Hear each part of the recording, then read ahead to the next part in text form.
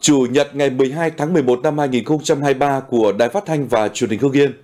Chương trình có những nội dung đáng chú ý sau đây. Kỷ niệm 60 năm thành lập trường Trung học phổ thông Phù Cử. Phát huy vai trò của đảng viên trong xây dựng nông thôn mới. Nhân dân đồng thuận bàn giao mặt bằng triển khai dự án hạ tầng khu công nghiệp Yên Mỹ 2 mở rộng. Thưa quý vị và các bạn, Hội đồng Nhân dân tỉnh Hương Yên vừa ban hành thông báo về việc tổ chức kỳ họp thứ 17 của Hội đồng Nhân dân tỉnh khóa 17 nhiệm kỳ 2026 thực hiện luật tổ chức chính quyền địa phương, nghị quyết số 629-2019 của Ủy ban Thường vụ Quốc hội hướng dẫn một số hoạt động của Hội đồng Nhân dân. Thường trực Hội đồng Nhân dân tỉnh ấn định tổ chức kỳ họp thứ 17 của Hội đồng Nhân dân tỉnh khóa 17 trong ngày 15 tháng 11 năm 2023, tức thứ Tư, khai mạc lúc 8 giờ tại hội trường số 408, trụ sở Hội đồng Nhân dân và Ủy ban Nhân dân tỉnh để xem xét quyết định một số nội dung thuộc thẩm quyền của Hội đồng Nhân dân tỉnh. Vậy Thường trực Hội đồng Nhân dân tỉnh trân trọng thông báo để toàn thể cử tri và nhân dân trong tỉnh được biết và theo dõi kỳ họp. Theo mặt Thường trực Hội đồng Nhân dân tỉnh, ký thay Chủ tịch, Phó Chủ tịch Thường trực Lê Xuân Tiến. Sáng nay, trường Trung học phổ thông Phù Cử tổ chức lễ kỷ niệm 60 năm ngày thành lập và chào mừng Ngày Nhà giáo Việt Nam 20 tháng 11. Đồng chí Nguyễn Duy Hưng, Phó Chủ tịch Ủy ban Nhân dân tỉnh dự và phát biểu chỉ đạo.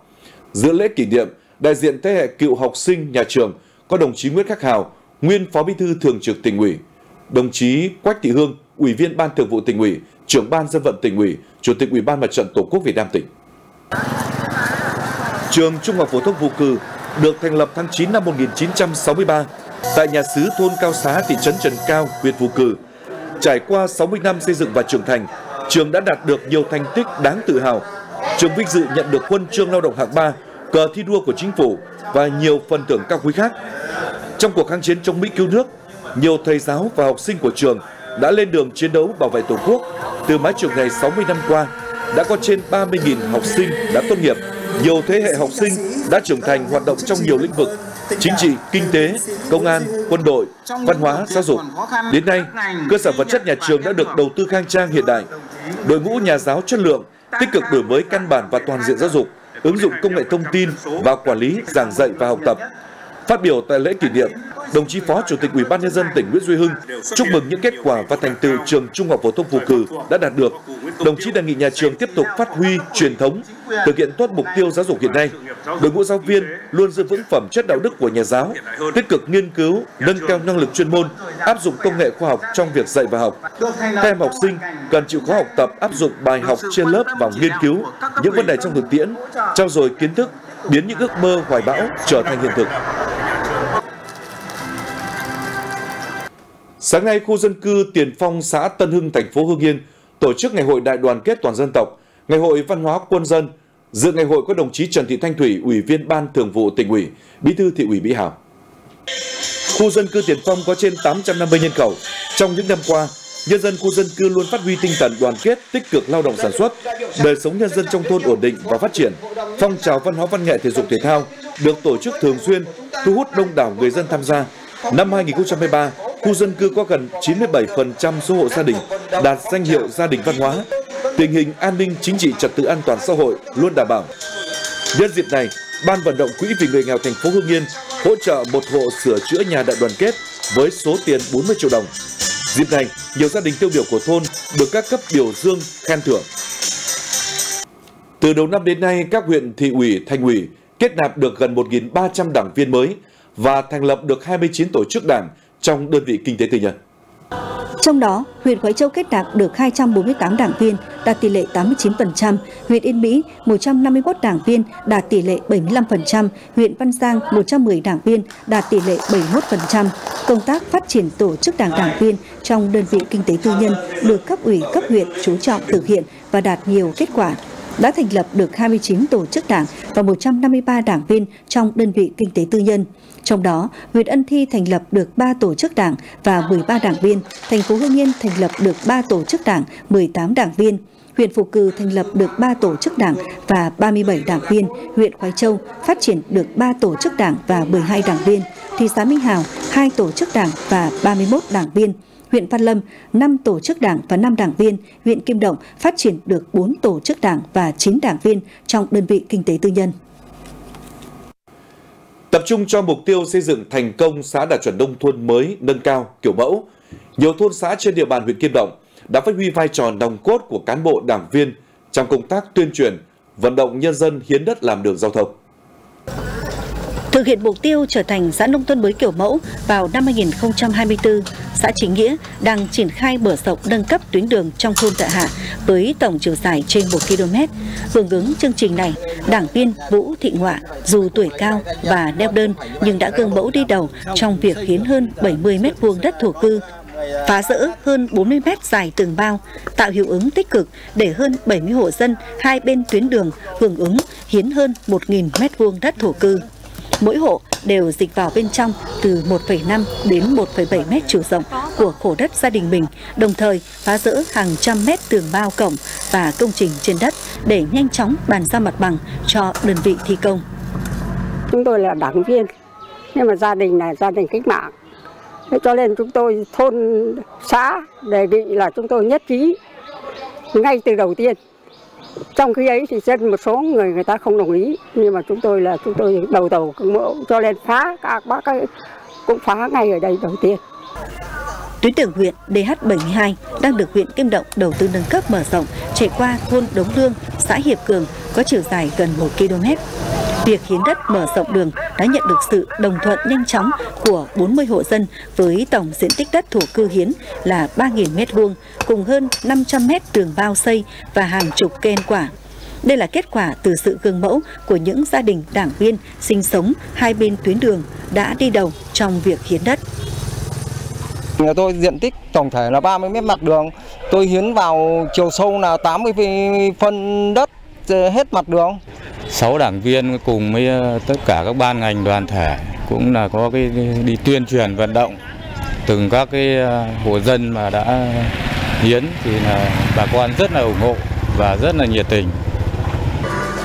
Nhờ sự nêu gương phối hợp nắm tình hình và tích cực vận động bà con của các đảng viên, từ đầu năm đến nay, nhân dân các thôn xã trên địa bàn huyện Kim Động đã đồng thuận hiến hơn 4.000 m2 đất để nâng cấp sửa chữa và mở rộng hơn 20 km đường giao thông nông thôn. Với sự đồng lòng quyết tâm cao của cả hệ thống chính trị và các tầng lớp nhân dân, đến nay huyện Kim Động có 12 trên 16 xã được công nhận đạt chuẩn nông thôn mới nâng cao, 2 xã đạt chuẩn nông thôn mới kiểu mẫu, 10 thôn được công nhận đạt chuẩn khu dân cư nông thôn mới kiểu mẫu.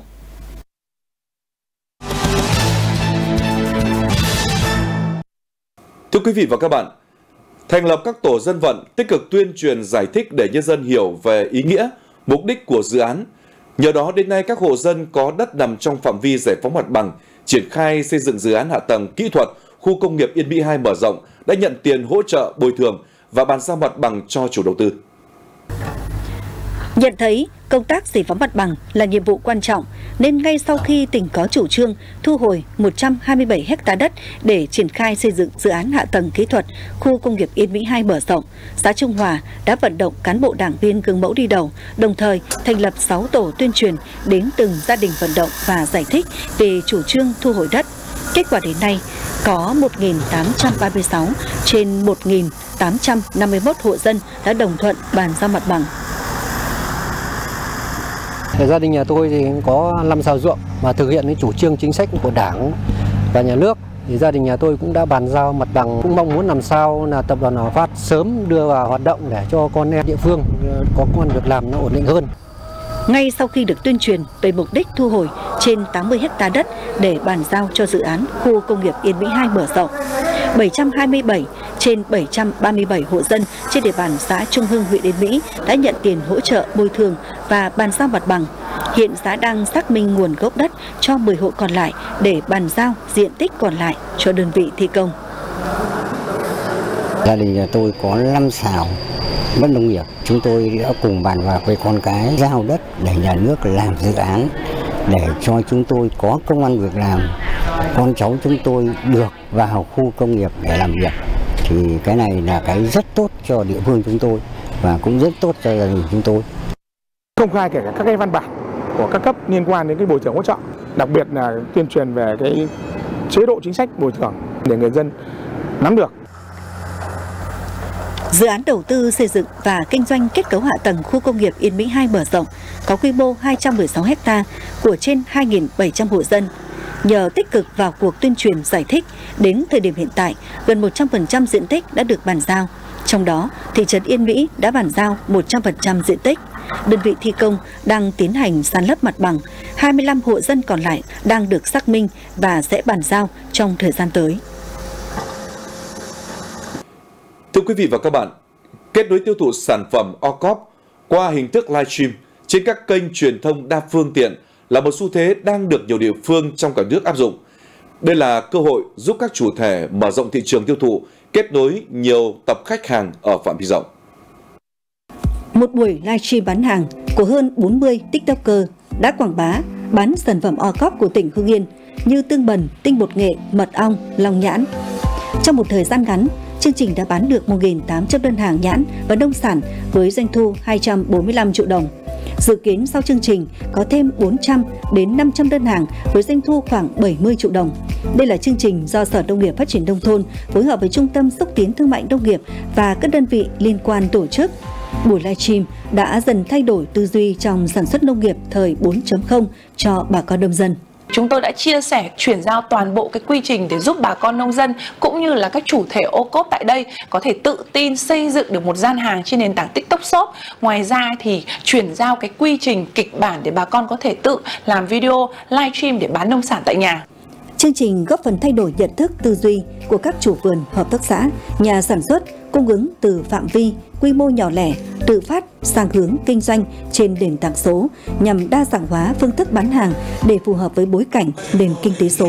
Từ đó, góp phần từng bước đưa nông nghiệp của Hương Yên tiến tới nền nông nghiệp số tạo thị trường lớn, mở ra cơ hội mới cho người sản xuất kinh doanh.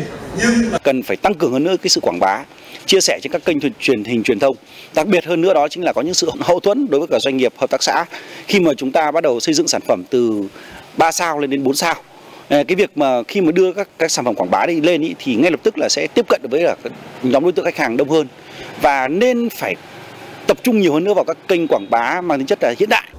Đến nay, tỉnh Hưng Yên đã tổ chức đánh giá xếp hạng và công nhận cho 250 sản phẩm OCOP. Trong đó, các sản phẩm OCOP của Hương Yên trong những năm gần đây có những bước phát triển vượt bậc, mẫu mã đẹp, chất lượng tốt, uy tín, có chỗ đứng trên thị trường trong nước cũng như được du khách quốc tế đánh giá cao. Một trong những nội dung và nhiệm vụ quan trọng nhất của chương trình OCOP là tăng cường chuyển đổi số như đẩy mạnh ứng dụng công nghệ số trong truyền thông, thúc đẩy phát triển thương mại điện tử cho sản phẩm OCOP thông qua các sàn thương mại điện tử, các kênh bán hàng trực tuyến online, bán hàng tương tác trực tiếp live stream nhằm tối ưu hóa ứng dụng công nghệ số trong sản xuất thương mại sản phẩm OCOP.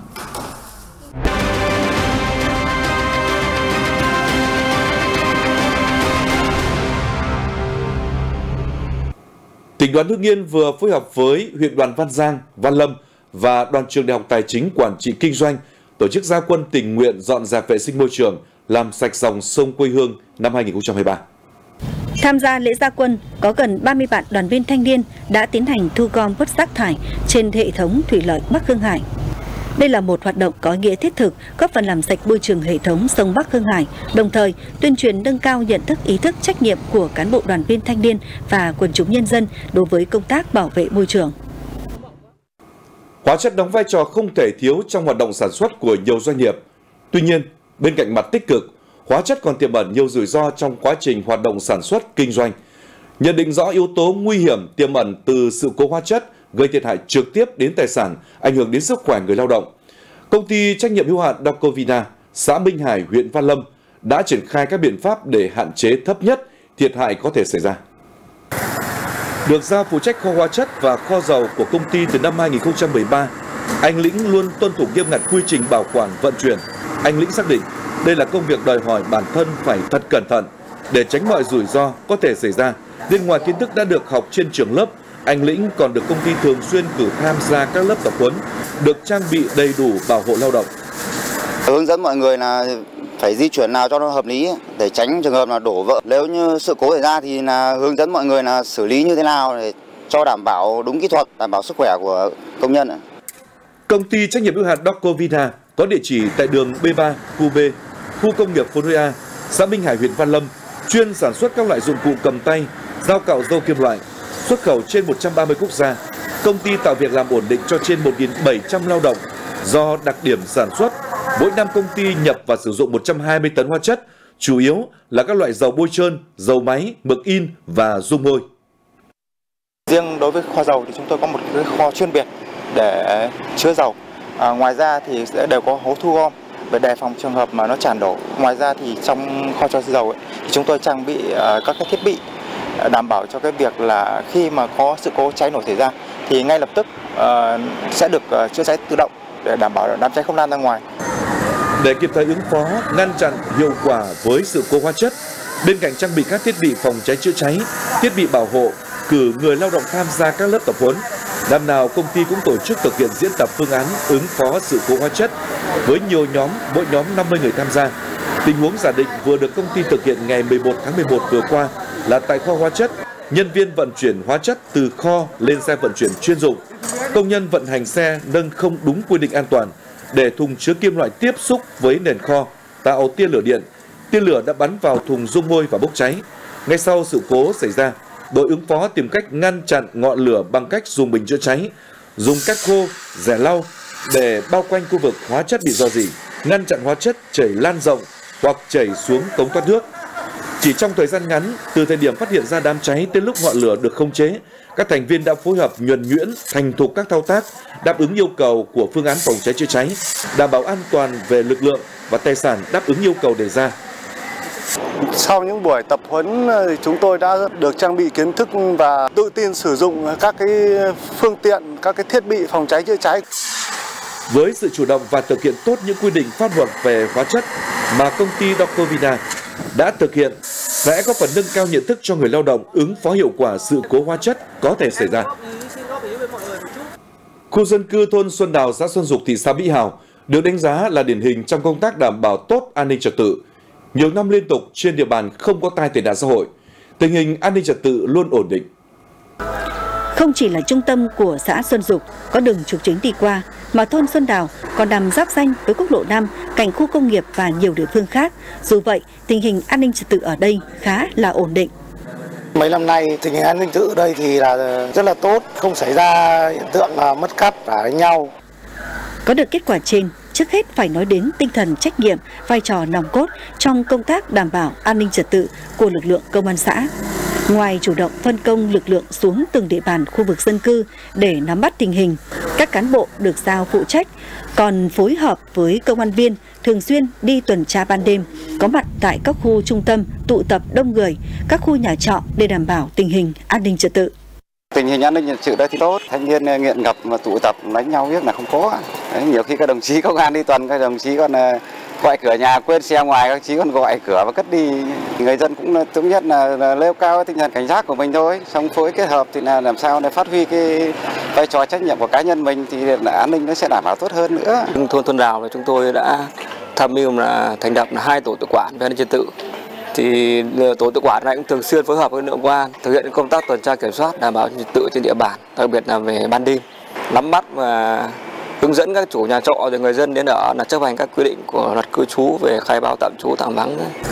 Trong năm 2022 và từ đầu năm 2023 đến nay, trên địa bàn thôn Xuân Đào không xảy ra vụ việc đánh cãi chửi nhau, không có tình trạng trộm cắp, lừa đảo hay ổ nhóm tội phạm hoạt động theo kiểu xã hội đen. Ngoài làm tốt công tác đảm bảo an ninh trật tự địa phương, nhân dân thôn Xuân Đào còn nêu cao tinh thần đoàn kết, đẩy mạnh mọi phong trào ở địa phương. Cụ thể, thôn đã vận động các hộ dân hiến trên 1.000 m2 đất thổ cư, trong đó hộ hiến nhiều nhất lên tới 60 m2 để nâng cấp mở rộng đường trục thôn. Thông tin vừa rồi đã khép lại chương trình thời sự của Đài Phát thanh và Truyền hình Hương Yên. Cảm ơn quý vị và các bạn đã quan tâm theo dõi. Xin kính chào tạm biệt và hẹn gặp lại.